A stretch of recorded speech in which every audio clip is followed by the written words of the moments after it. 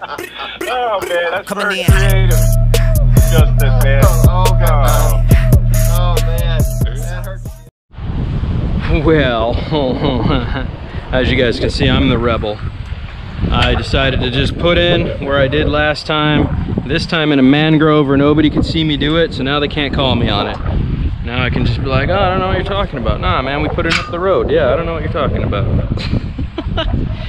That's what's gonna happen because I'm not playing their stupid little games about not being able to put in right here.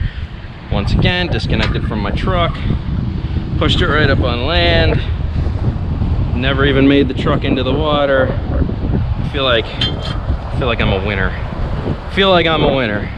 Let's start this thing up, take it for its first rip before the tide gets too low. I need to push the jet ski out because the tide is going down right now. It's not coming up. So I need to get this out there a little ways. So that's what we're gonna do. She didn't have much fuel in her.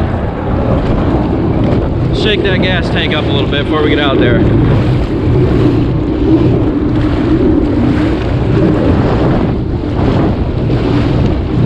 Stir that oil up real good.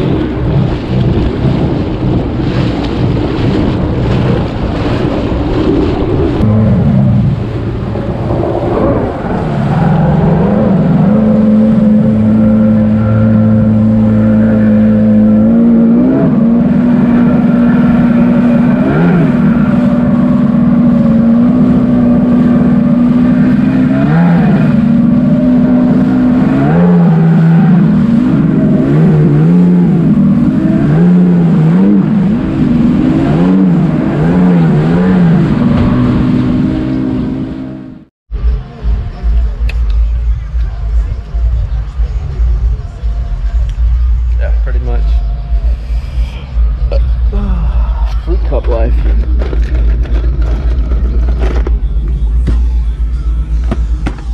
Yo, I'm a little kid right now. It's beautiful. Why bring the water back to the ocean? The water? Did you see dolphins out there? Did you have fun? Yeah. Yeah. Oh, it's a good day out here for jet skis. I can ride my jet ski with no handlebars. No handlebars. No handlebars. What's that do?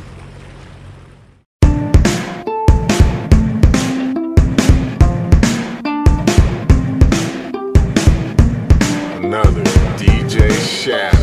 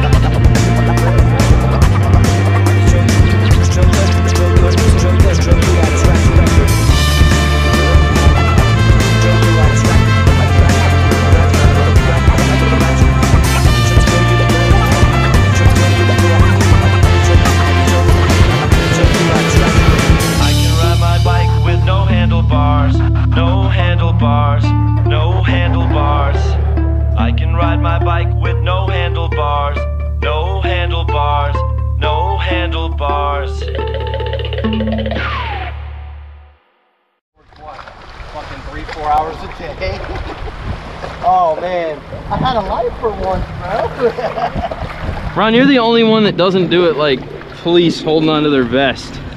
He's, he's the only one that's like got to hold the titties and shit. Like you- you're not a you're You not a gotta caress the titties from time to time. from time to time. You got to get in there and just give them some love. Oh, I feel you.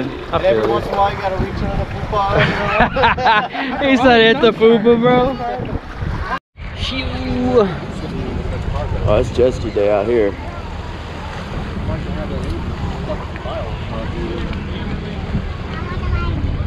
Yep.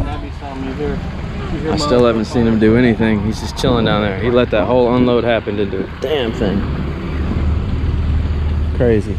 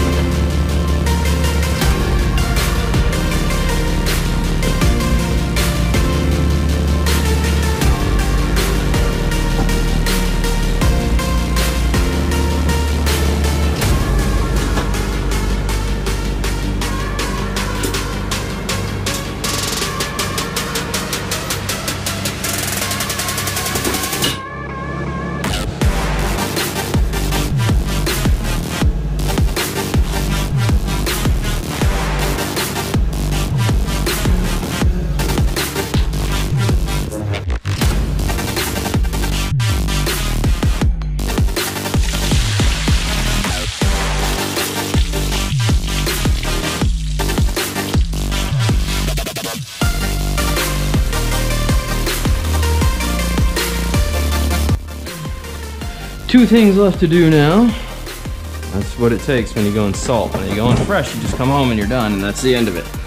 When you go in salt, there's a lot more involved. Now I gotta open this up, get, get all the moisture out of here, and let it sit uh, and dry for a couple days, because you don't want moisture to get on the pin bearings, which is what burns up the cylinder sleeve uh, or uh, the rod bearings, the pin bearings.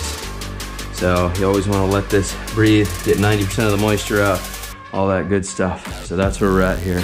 So fun stuff. This is done.